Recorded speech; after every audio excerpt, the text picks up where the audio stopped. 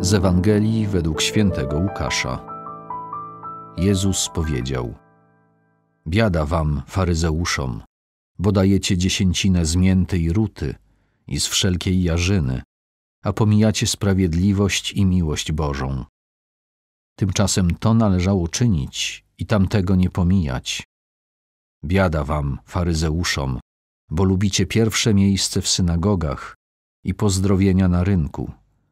Biada wam, bo jesteście jak groby niewidoczne, po których ludzie bezwiednie przechodzą. Wtedy odezwał się do niego jeden z uczonych w prawie.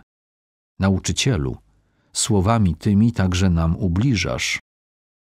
On odparł: I wam, uczonym w prawie, biada, bo nakładacie na ludzi ciężary nie do uniesienia, a sami nawet jednym palcem ciężarów tych nie dotykacie.